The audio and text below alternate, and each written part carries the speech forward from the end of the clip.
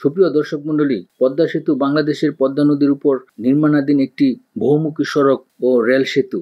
এর মাধ্যমে লৌহজং, মুন্সীগঞ্জের সাথে শরীয়তপুর ও মাদারীপুর যুক্ত হবে। ফলে দেশের দক্ষিণ পশ্চিম অংশের সাথে উত্তর পূর্ব অংশের সংযোগ ঘটবে। বাংলাদেশের মতো উন্নয়নশীল দেশের জন্য পদ্মা সেতু হতে যাচ্ছে এর ইতিহাসের একটি সবচেয়ে বড় চ্যালেঞ্জিং নির্মাণ কাজ।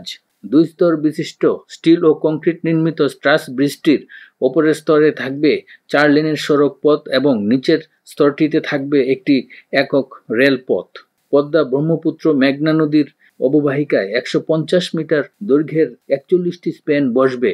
ছয় দশমিক একশো পঞ্চাশ কিলোমিটার দৈর্ঘ্য এবং আঠারো দশমিক দশ মিটার প্রস্থ পরিকল্পনায় নির্মিত হতে যাচ্ছে বাংলাদেশের সবচেয়ে বড় সেতু।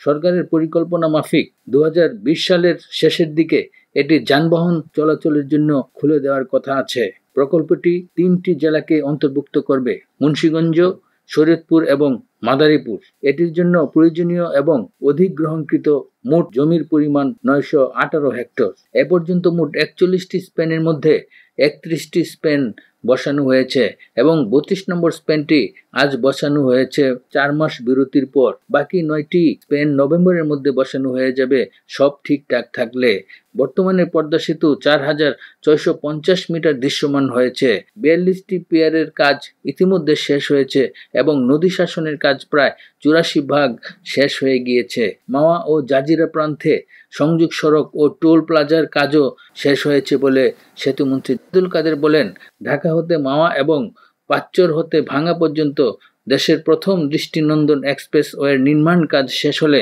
প্রধানমন্ত্রী শেখ হাসিনা যান চলাচলের জন্য উন্মুক্ত করে দেবেন।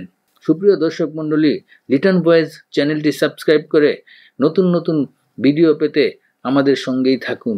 ধন্যবাদ।